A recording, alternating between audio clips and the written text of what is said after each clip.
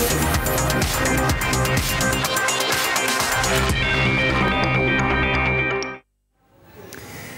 Zdravi bili. Počinje da teče vreme predviđeno za korisne savete i priču o zdravlju svih nas. Ja sam Nemanja Velikić. Ovih dana suočavamo se sa velikim vremenskim promenama. Kišu smenjuje sunce, sunce smenjuju oblaci i sve tako u krug. Čak i oni koji nemaju problema sa meteoropatskim sindromom žale se na glavobolje, neraspoloženje, umor. Na ovo se kao magnet lepe i sve one male ili veće brige koje imamo svi. Žalimo se na kišu, vrućinu, red u banci, a zaboravljamo da su to sve pojave koje će proći. Koliko je onda zaista realno gledati kao brige i na njih se svakodnevno žaliti. Bolesnim ljudima sve ovo je smešno jer oni imaju samo jednu želju. Setite se toga svaki put kada pomislite da nema većeg problema od oblačnog vremena, na primjer. Zdravlje je ono što je naše najveće bogatstvo. Dobrodošli, počinje Infoklinika.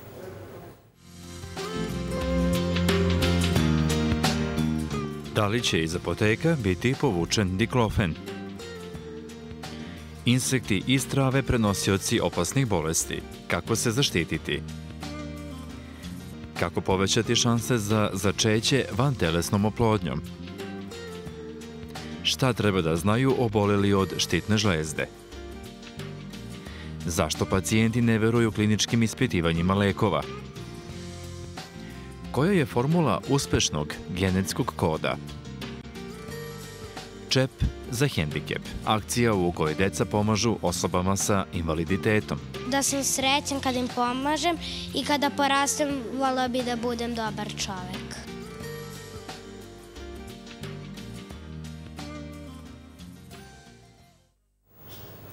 Emisiju počinjemo vešću koja je mnoge pacijente zatekla. Naime, lekovi na bazi diklofenaka koji se godinama koriste, mišljenjem naučnika iz Evropske unije trebalo bi da se smanje u praksi. Kao razlog navedeno je da od hiljadu pacijenata koji su koristili diklofen, osmoro je doživelo infarkt. Ovde se vredi podsjetiti da je slična priča objavljena u Britaniji još prošle godine, ali niko nije reagovao. Opravdano je postaviti pitanje šta se sada krije iza ove vesti.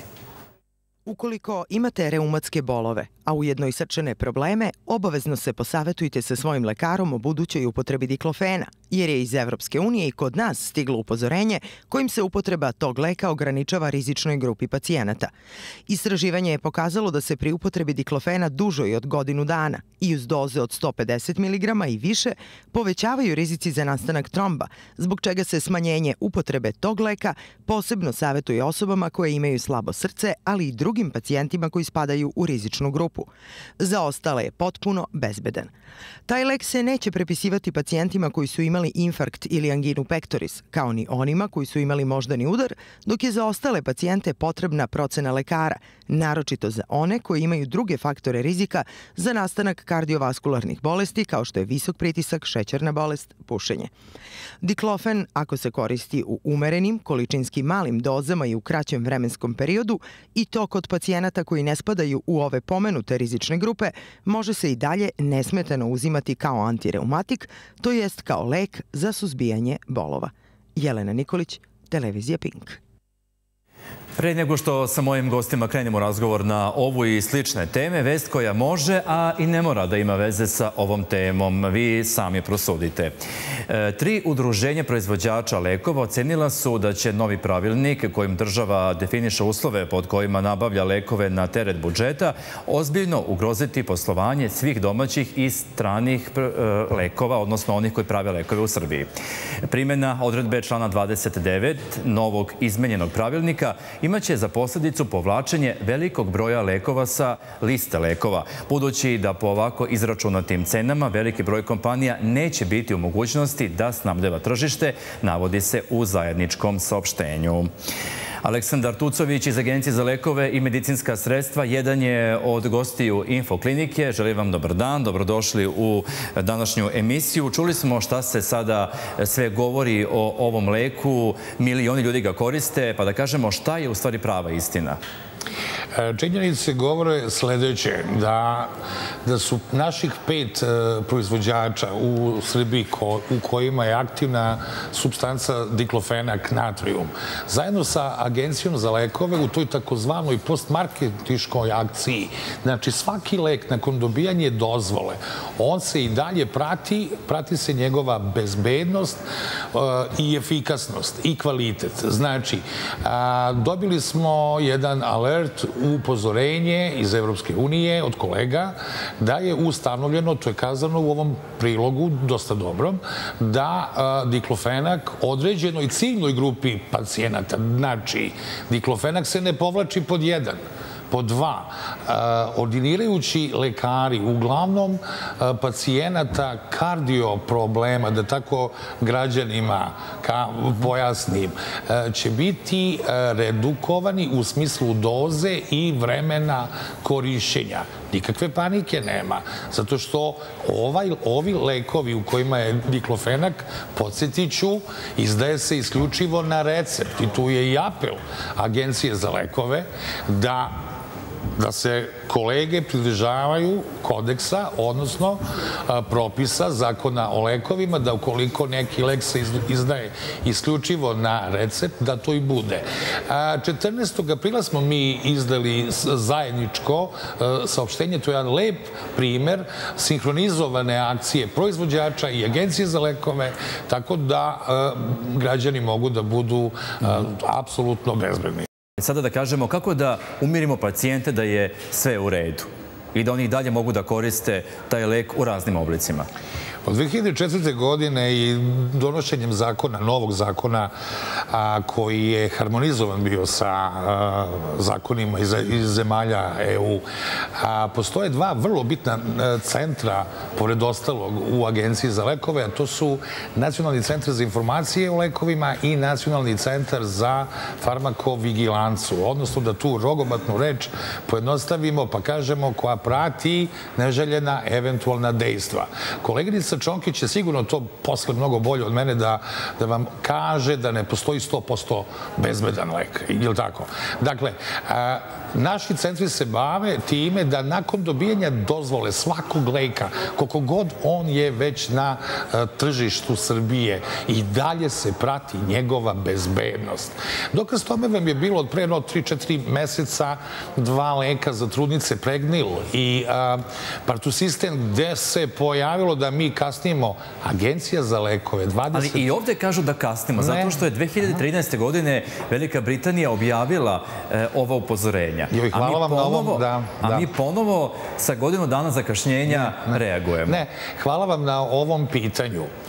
Sve agencije u, zemljama EU i koje su van toga, i američka, kanadska, Novi Zeland, Australija, mi imamo svoje protokole, procedure, način na koji se određeni lek povlači ili se stavlja za određenu ciljnu grupu trenutno se da ne bude u primjeni. Ta informacija tačna jeste, pojavile su se prve naznake, kažem naznake, međutim, mi smo za 48 sati već 14.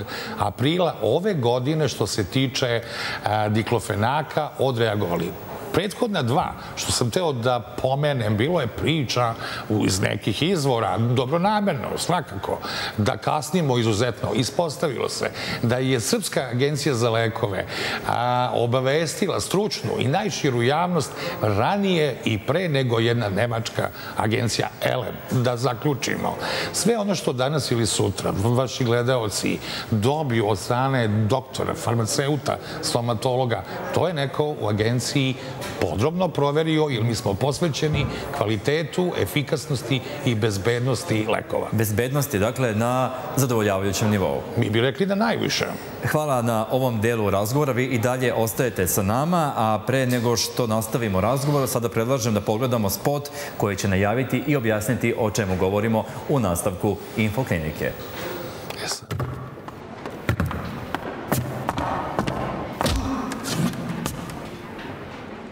Ko si ti? Ja sam heroj kliničkih ispitivanja. Heroj kliničkih ispitivanja od 15. do 30. maja. Pedagoški muzej Beograd.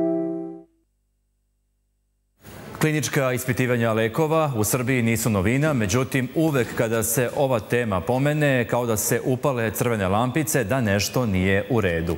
I to posebno onih kojih u njima svojevoljno su uzeli učešće. Međunarodni dan kliničkih ispitivanja prilika je da i mi obradimo ovu temu. U studiju je i Maja Conkić iz Udruženja Klinis. Želim vam dobar dan i vama. Nastavljamo, dakle, ovaj razgovor koji je nekako, rekli bismo, tu se prožima. Kako vi komentarišete ovu priču o diklofenu sa iz ugla tačnih kliničkih ispitivanja?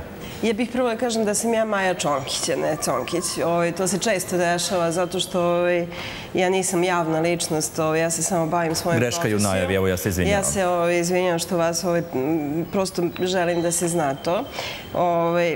Ja bih prvo da kažem da ovo što se dešava sa diklofenom spada u nešto najnormalnije što po mom mišljenju, da svi lekovi imaju neku, neki svoj životni vek, imamo nove lekove, saznajmo šta je to bilo, šta se dešava, što više ljudi koristi nešto, što je veći broj znači, ispitanika, ovaj, mi dobijamo pouzdanje podatke.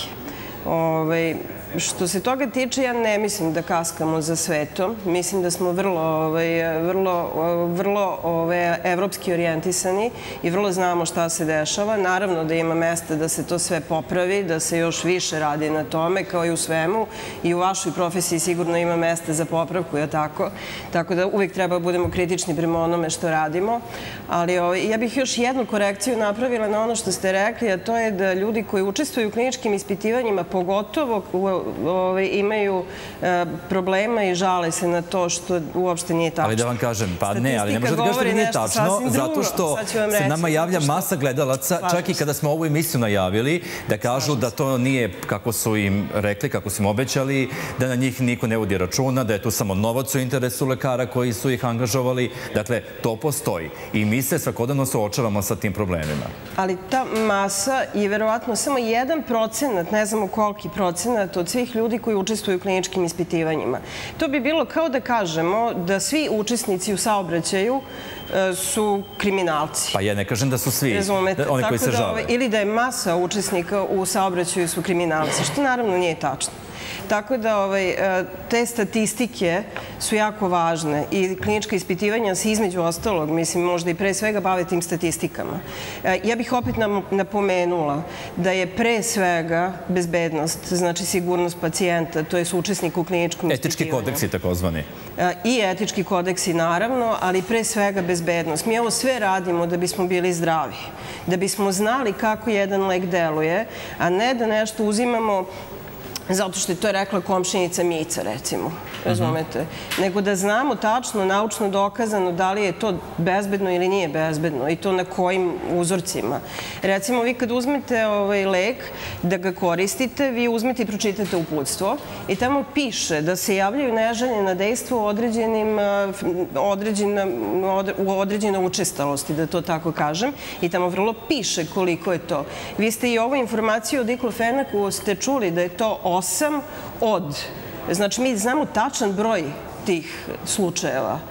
E, zato služa klinička ispitivanja, da tačno znamo šta se dešava.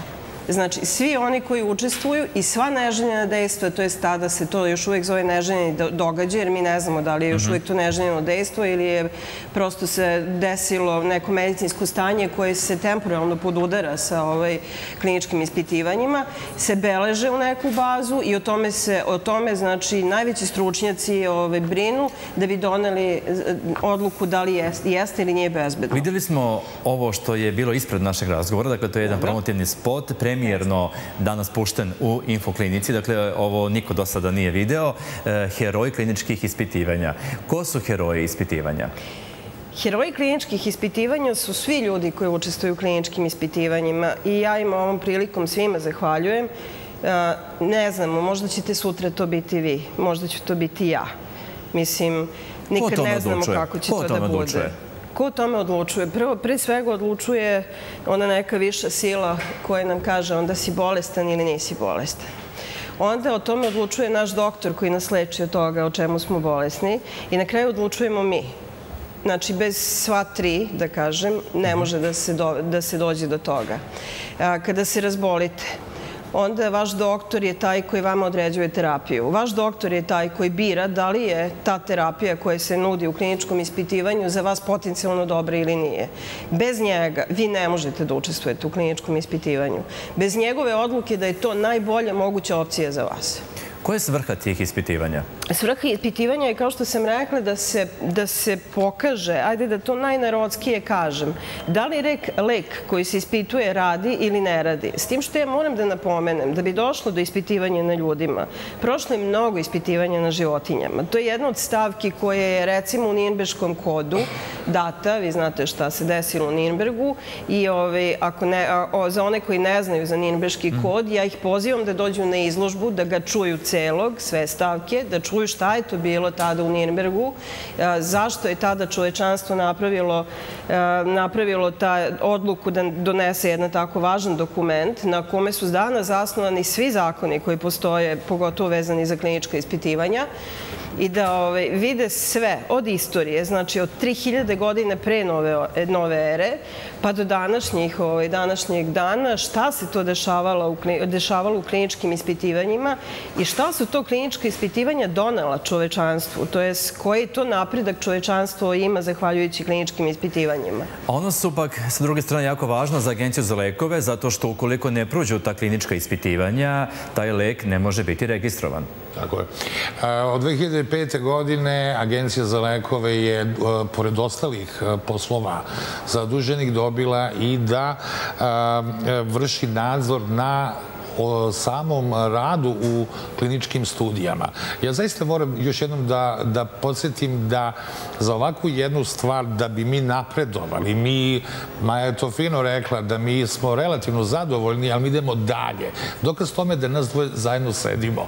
Jedna državna institucija koja se ponaša po e, pro, utvrđenim propisima, za, odnosno zakonom o lekovima a, i dobrim a, kliničkim praksama. Međutim, i, i jedni i drugi želimo da se propisi, zakoni inoviraju, da dođemo u što jedan, jedan bolji, kvalitetniji a, način rada kao što je u a, razvijenim zemljama. Mi očekujemo podršku i Ministarstva zdravlja. Mi, mi, mi njih imamo dokaz tome da, da je i pokrovitelj ovog a, budućeg lepog skupa na koju smo ponosni i klinis i evo i ja sam čak eto deo deo tog cenjenog klinisa, ovaj, ali i agencije za lekove.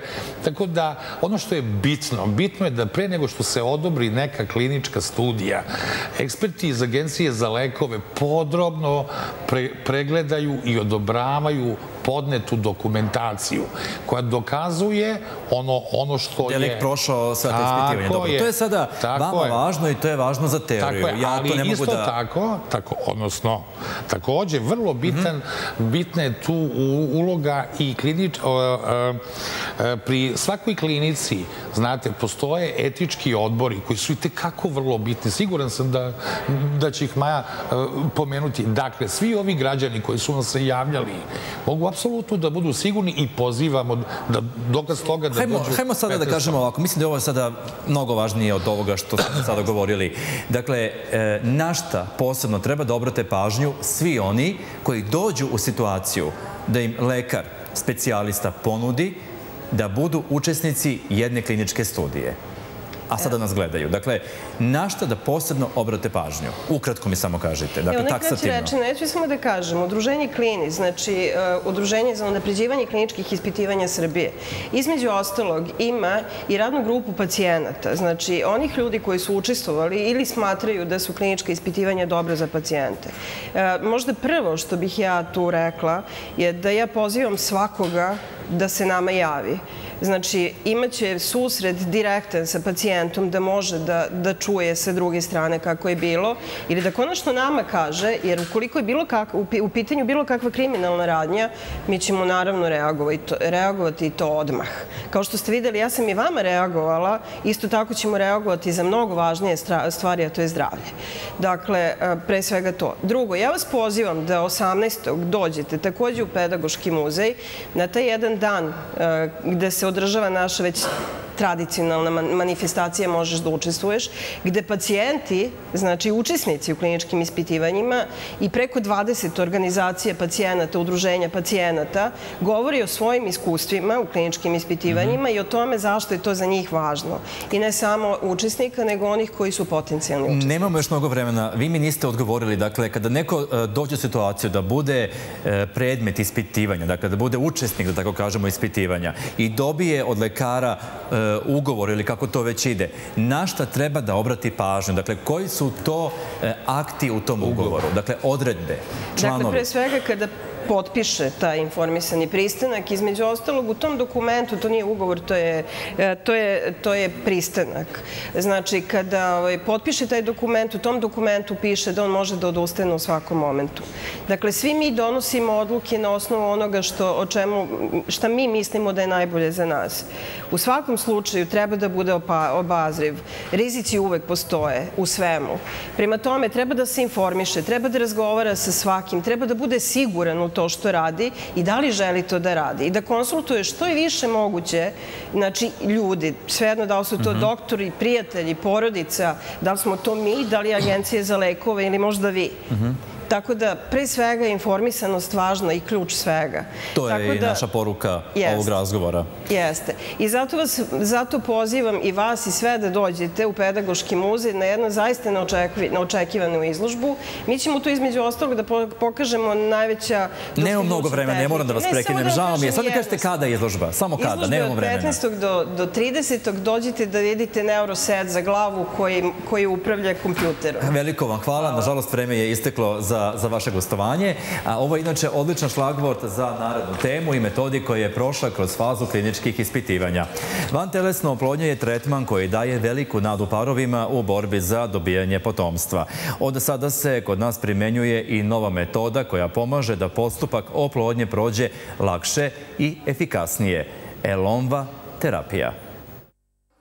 Vantelesna oplodnja je tretman koji daje veliku nadu parovima u borbi za dobijanje potomstva ali ovaj postupak nosi sa sobom i izazove na fizičkom i emocionalnom nivou. Stimulisanje ovulacije početni je segment van telesne oplodnje u cilju dobijanja većeg broja jajnih ćelija. Za to su se koristili hormoni hipofize, koji postiču jajnike na produkciju jajnih ćelija. Ovi hormoni su mogli da se daju samo u obliku injekcija, pri čemu je prosečna dnevna doza podrazumevala 2 do 4. Mislim da ovo dovodi do manjeg broja pacijenata koji odustaju od terapije zbog složenosti i zahtevnosti lečenja i da ukoliko se poštuju određeni preduslovi gde postoje uslovi kome ne smemo dajemo ili kome smemo, takav jedan novi lek omogućava značajno raznoliki pristup koji možemo da prilagodimo svakom pacijentu pojedinačno. Elonva metoda podrazumeva da se samo jednom aplikacijom postiže adekvatan nivo stimulišućeg hormona u krvi pacijentkinje i to u periodu od 7 dana. To u praksi znači da se jednom injekcijom postiže isti efekat na rast jajnih ćelija kao i sa seda.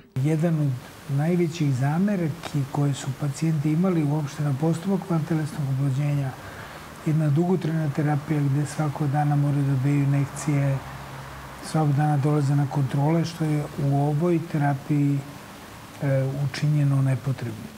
Terapija Elonva metodom predstavlja značajan pomak u lečenju steriliteta i van telesnoj oplodnji. Kristina Trmanović, televizija Pink. Prvomajski uronci idealna su prilika da se odmorimo od svakodnevice ili družimo sa prijateljima. Međutim, samo jedan trenutak nepažnje može da pokvari radost odmora.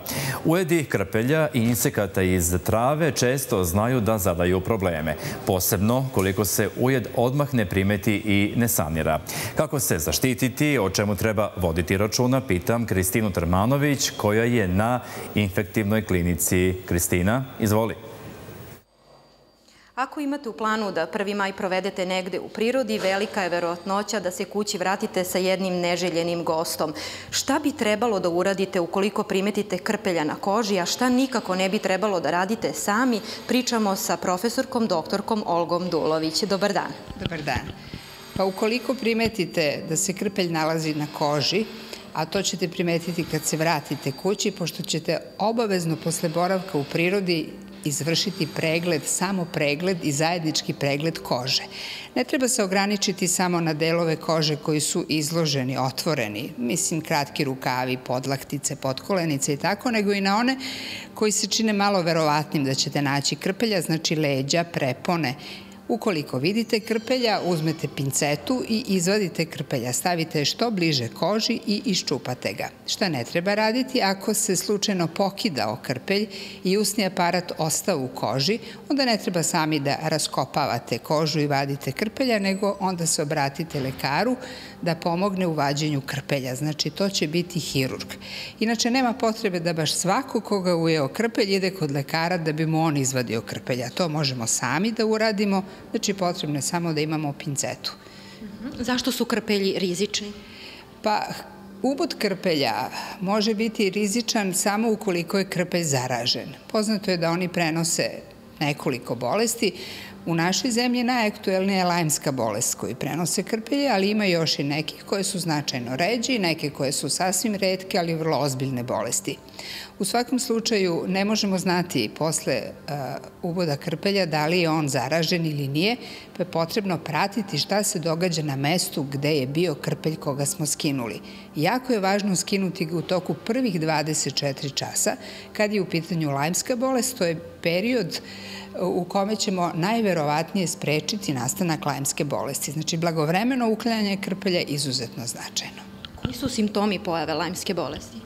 Ono što svako može da prepozna, a to je pojava crvenila na mestu ujeda krpelja, To je jedno bezbolno, znači eh, okruglasto crvenilo, koje može biti 15 cm veliko, ali uvek veće od 2-3 cm i koje se tokom nekoliko dana širi. Znači, to je nešto što svako može da primeti i u tom slučaju obavezno je javljanje lekaru, jer su ti prvi simptomi lajmske bolesti potpuno izlečivi. Znači, ta prva faza lajmske bolesti je kompletno izlečiva, na taj način se sprečava nastajanje nekih drugih manifestacija koji se nešto teže leče. Hvala na razgovoru. Dakle, simptomi lajmske bolesti mogu se javiti i mesec dana kasnije. Crveni loko uboda, umor, glavobolja, bolovi u mišićima samo su neki od simptoma koje osjećamo, zato je veoma bitno da se što pre javimo lekaru, kako ne bi došlo do neželjenih komplikacija. Studio? Hvala, hvala Kristina tebi i tvoj sagovornici na ovom uključenju. A koliko ste puta čuli da smo mi ono što su u stvari naši geni? Ne možemo da ih biramo, već ih nasleđujemo od naših roditelja. Možemo li ipak nešto da menjamo? Pitam moju narednu gošću, doktor eh, nauka Maja Stojiljković iz Instituta za molekularnu genetiku i generičko inženjerstvo. Želim vam dobar dan, dobrodošli u Infokliniku. Čuli ste, čuli ste ovu najavu Dakle, da li nešto možemo da mi utičemo svojevoljno na te gene, da nešto mi tu mutiramo, radimo ili je to tako kako je? Pa ono što nosimo u genima, to je tako kako je, ali ono što možemo da uradimo, to je da unapred, pre nego što dođe do simptoma nekih bolesti, znamo koje su karakteristike zapisane u našim genima i da možda pravovremeno pristupimo nekim preventivnim merama i u tom smislu utičemo na razvoj neke bolesti. To je ono što mi možemo da uradimo. Pošto ovde govorimo o bolestima, nažalost, takva je emisija i takva je tema, vi ste ekspert za redke bolesti. E, da li redke bolesti možemo da otkrijemo još tokom trudnoće? Trudnoće? E, možemo, da. Ukoliko postoji, e, znači morali bi da znamo već da u toj porodici postoji određena genetička osnova za razvoj konkretne redke bolesti. Kad govorimo o redkim bolestima, važno je reći da zbog njihove učestalosti, znači zbog toga što su redke, neće lekar najčešće poslumnjati na njih. Dakle, veliki je put do postavljanja diagnoze i do toga da uopšte može se posumnja na tu bolest. Upravo zbog toga je jako važno važno da već znate unapred šta tražite. Dakle, ne možete nasumično mhm. otkriti neku redku bolest. Da li to isključuje mogućnost da ukoliko su, da kažemo, uslovno rečeno, oba partnera zdrava, da ne postoji mogućnost da dete dobije neku redku bolest? Upravo suprotno. Znači, najčešće se događa da ukoliko su dve osobe koje su zdrave, oni su samo nosioci za određeni oboleli gen i njihovo dete ima šansu od 25% da oboli od neke redke bolesti, 50% šansu da bude nosilac i 25% šansu da bude u potpunosti zdrav. Zašto je teško otkriti redku bolest? Upravo zbog toga što ne postoje za sve redke bolesti diagnostički testovi pravi. Za koliki broj njih postoji? Za jako mali broj. Znači, postoje oko 8000 različitih redkih bolesti i za, u principu možete e, otkriti različitim biohemijskim metodama i kliničkim metodama i genetičkim metodama, možete napraviti dijagnozu, ali je problem u tome što na osnovu nekih prvopitnih simptoma nećete odmah posumnjati na tu bolest, već će se dijagnoza e, praktično odložiti. Dugo će se pacijenti šetati od jednog do drugog lekara pre nego što se postavi ispravna dijagnoza, što je jedino ono što je... Kada treba raditi analize? Ispitivanja? U kom delu trudnoće? Što je ranije moguće. Ako govorimo o prenatalnoj analizi, prenatalnoj diagnostici, onda se radi amniocenteza. Koja je koliko pouzdana kao metoda? Pouzdano ukoliko imate sve podatke od roditelja, znači morate imati ono što tražite, znači morate imati prvobitnu analizu od roditelja i ukoliko postoji neki srodnik u porodici, znači prethodno e, brat ili sestra, e, onda ukoliko znate što tražite, onda je u potpunosti pouzdano. Mnoge genetske analize, upravo ako isključimo amniocentezu, rađene su u inostranstvu, dakle u Srbiji je bilo gotovo nemoguće to uraditi. Kažite mi sada, da li je situacija situacija malo drugačija u poslednjih nekoliko godina? Jeste, kako da ne. Na Institutu za molekularnu genetiku i genetičko inženjerstvo Univerzitetu u Beogradu mi od 80. godina, znači poslednjih 30 godina, radimo analize za različite redke bolesti, kao što su fenilketonurija, cistična fibroza, talasemija i mnoge druge. I e, mi pružamo tu uslugu pacijentima koje lekari upute na nas. A zašto da- dolazi uopšte do tih mutacija u genima? Na kom je to nivou gena? Kako to ide? Malo da sada to našim gledacima pojasnimo. Pa, iz različitih razloga, ali to su naprosto nasredne promene koje nasleđujemo od roditelja i koje kao takve prenosimo na naše potomstvo. Znači, najčešće kada govorimo o naslednim bolestima, to nisu promene koje nastaju pod uticajem nekakvih zračenja ili uticaje života sredine. Znači, može da se desi i to, ali najčešće ne. Naučnike iz naše zemlje, a i uopšte javnost koju to interesuje stručnu, e, može da iznenadi jedno lepo gostovanje, ako se ne veram, naučnika iz inostranstva, o kome je reč i da li je to sada već izvesno? Da, da, kako da ne. 30. E, maja u Beograd dolazi profesor Kaplan, koji je profesor sa Univerziteta u Pensilvaniji. On je naučen koji se bavi jednom izuzetno redkom, izuzetno tečkom, e, redkom bolešću koja se može okarakterisati kao kamena bolest. I e, to je izuzetno značajno zato što je on verovatno jedini lekar na čitavom svetu koji se bavi tom bolešću i upravo zbog toga je značajno mhm. da nama prenese svoje iskustva i da pacijente koji postoje u našoj zemlji da pregleda na pravi način. E, koliko ima boleh od te kamene bolesti i o koje uopšte bolesti reče? Radi se o bolesti gde dolazi do pretvaranja mišićnog i vezivnog tkiva u koštano tkivo. Mhm. Na čitom svetu postoji svega 800 ljudi koji su oboleli od te bolesti. U našoj zemlji postoje dve osobe. I izuzetno su značajne istraživanja na tu temu zato što zapravo razumevajući mehanizam te bolesti mi možemo da otkrijemo i e, zašto dolazi do takvih e, nespecifičnih okuštavanja i možda posle nekih hiruških intervencija.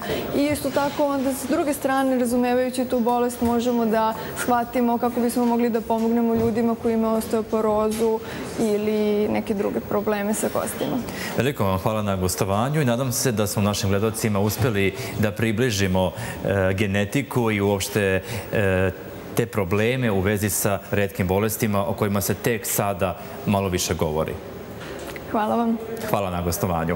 A kada genetika, nažalost, zakaže, onda ne preostaje ništa drugo nego da se svi ujedinimo i pomognemo koliko možemo onima kojima je pomoć potrebna. E, to je tema sledećeg priloga. Pre dve godine pokrenuta je akcija Čep za hendikep. Njen cilj je da pomogne osobama sa hendikepom kako bi bili u mogućnosti da kupe invalidska kolica. Sve to ne bi bilo toliko neobično da akciju ne sprovode malešani iz jedne beogradske osnovne škole. Oni i njihova učiteljica Biljana Kostić heroji su današnje infoklinike. Većina ljudi vidi ono što jeste, a ne ono što može biti. Reči su poznatog genija Alberta Einsteina. A da nije onih redkih pojedinaca ne bi bilo ni pomoći koja svakom od nas ponekad dobro dođe. Paraplegičari iz Banata, zahvaljujući osnovcima, moći će da kupe sredstva koja su im neophodna. Mnogo, mnogo znači, pošto jedna invalidska kolica ovako aktivna košta oko 1000 evra i za takva kolica je potrebno negde između 5 i 6 tona ovaj, džepova. U osnovnoj školi Jelena Ćetković kažu da je akcija krenula sa dva odeljenja drugog i četvrtog razreda, a kasnije se proširila na celu školu. Učiteljica Biljana za učenike ima samo reči hvale. E, jako nam je stalo da se da pomognemo e, ljudima, e, da sutradan naučimo našu decu da postanu dobri ljudi i ovom prilikom ja zaista e, pozivam i drugu humanu decu e, koje bi da pokažu svoju humanost i plemenitost na delu da nam se jave i da nam se pridruže. Deca s druge strane postupila su kao zreli aktivisti. Za kratko vreme uključili su svoje rođake, komšije, poznanike. I što im možemo da im to prinudimo, da mogu da bolje, da mogu da se pokreću kao i mi. E, sem što smo ja kod kuće porodično skupljamo čepove e, i moj tata je organizovao akciju na poslu i, i on je skupljao. Da bi pomogli ljudima koji se ne kreću da kupe kolica. E, meni su pomagale komšije. I ja sam hteo samo još da kažem da sam srećan kada im pomažem i kada porastem, volao bi da budem dobar čovek. Ovakav primer trebalo bi da nas podstakne da budemo humani i da čak i u trenucima sreće ne zaboravljamo na one koji nisu. Dela ove dece govore više od njihovih godina i zapravo su potvrda koliko su veliki. Kristina Trmanović, televizija Pink.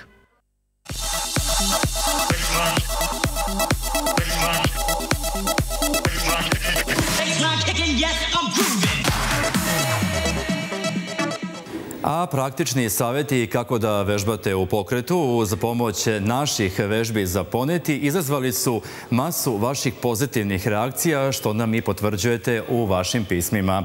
One su lagane, svuda izvodljive, a korisne. I ove nedelje ispred objektiva snimatelja Stevana Stojikovića vežbaju Kristina i Nemanja. Pa i vi probajte, zašto da ne.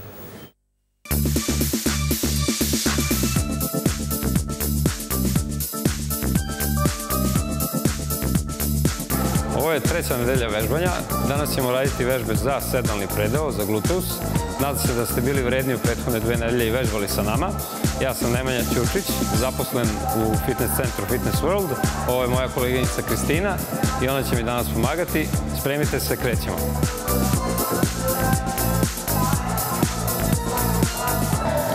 Prvu vežbu danas radit ćemo u parteru.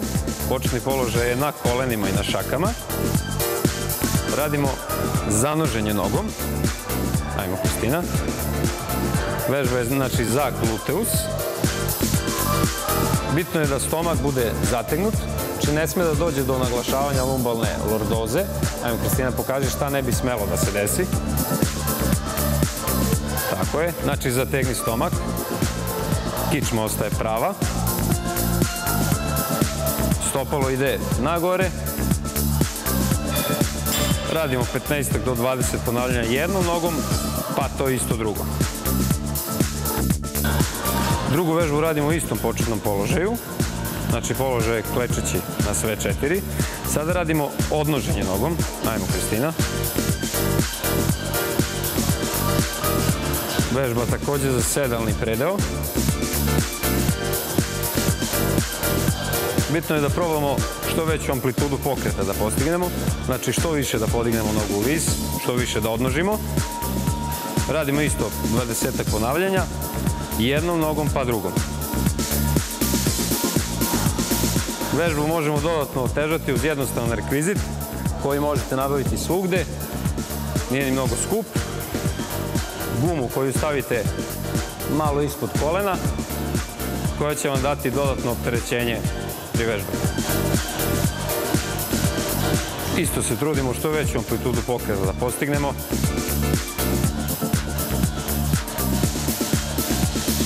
Izdisaj pri odnoženju.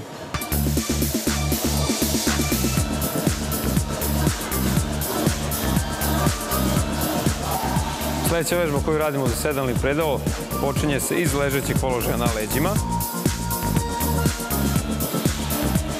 Ruke su postavljene pored tela, oslonimo se na stopala, podižemo kukove nagore. Izdisa je pri podizanju kukova. Vežba je prilično laka, tako da možemo da odradimo i 25 do 30 ponavljanja. Bitno je takođe da probamo što veću amplitudu pokreta da postignemo, znači da podignemo kukove što više moguće.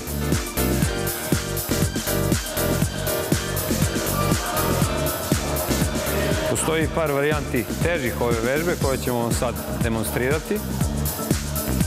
Jedna je ta da se radi jednom nogom.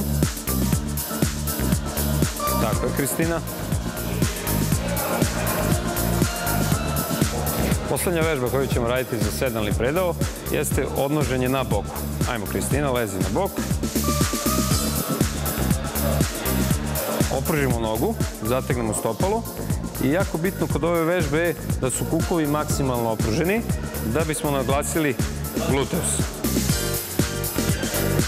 Znači, ako su kukovi savijeni, savi Kristina kukove, to će vam omogućiti veću amplitudu pokreta, ali ćemo naglasiti i kvadriceps.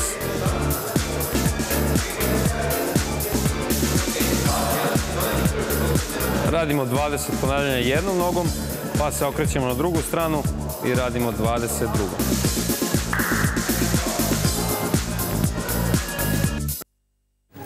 A kolege iz časopisa Top zdravlje, koje su na istom zadatku kao i mi iz tima Infoklinike, da tačnim i kompetentnim savjetima brinu o vašem zdravlju, podsjećaju vas da je ovo mesečno izdanje uveliko na kioscima. Izdvojit ćemo neke od naslova, injekcija koja spasava vid, zatim disajne tegobe kao rukom odnesene.